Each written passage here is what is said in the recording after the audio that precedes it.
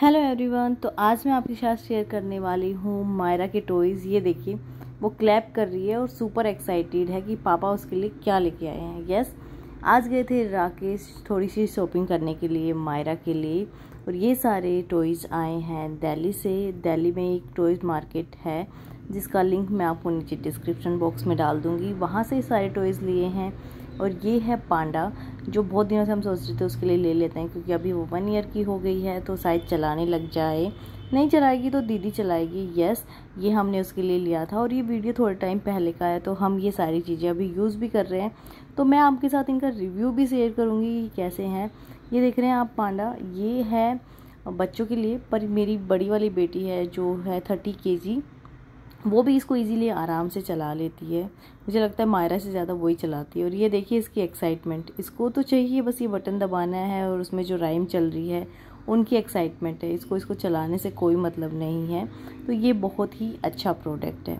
दूसरा प्रोडक्ट हमने लिया था, अभी जैसे वो वन ईयर की हो गई है तो उसको बॉडी ट्रेन करना है। तो यहाँ पे उसका डक बॉडी ट्रेनर था, जो कि बहुत ही क्यूट भी था।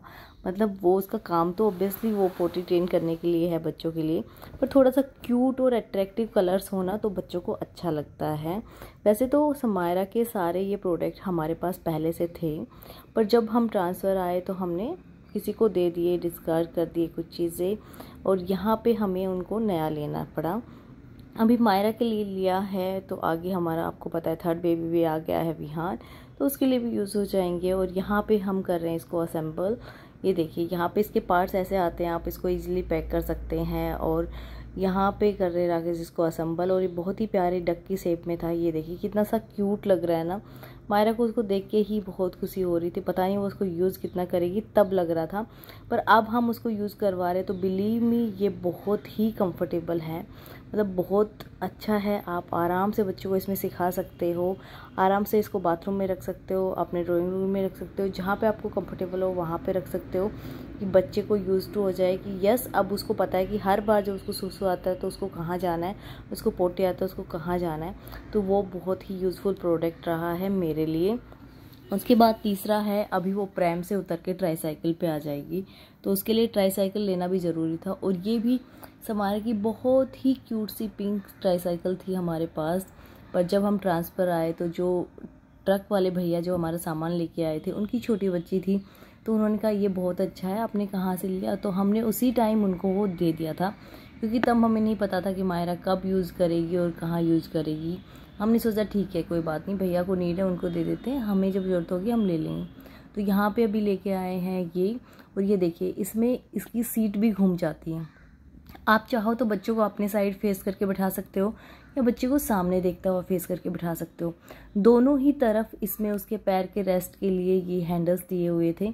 तो आप बच्चे को ऐसे बिठा के भी चला सकते हो, अगर आपको बच्चे से बात करनी है। और अगर बच्चे को सामने देख के चलना पसंद है तो आप उसको वहाँ भी बिठा सकते हो। तो आपकी मर्ज़ी है। और सामने जो है, वो भी खुल जाता है इसका। इसमें आगे बैल भी है। और ये बहुत ही कंफर्टेबल थी और इसके टायर है ना मैंने राकेश को चाहिए कि टायर ऐसे हों जो आवाज़ ना करें।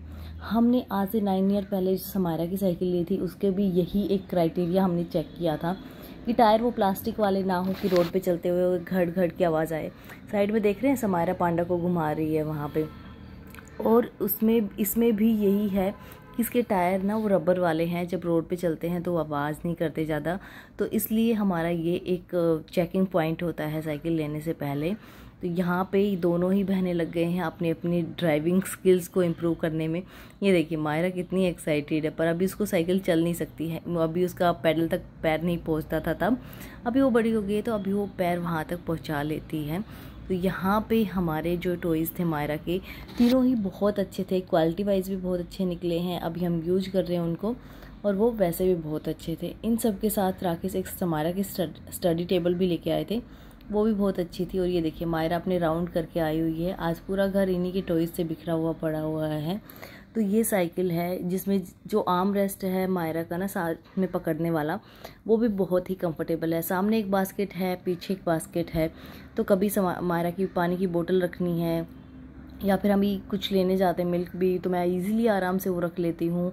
हैंडल है, वो भी पीछे आराम से पकड़ने का है, उसमें भी अच्छे से कवर दिया है।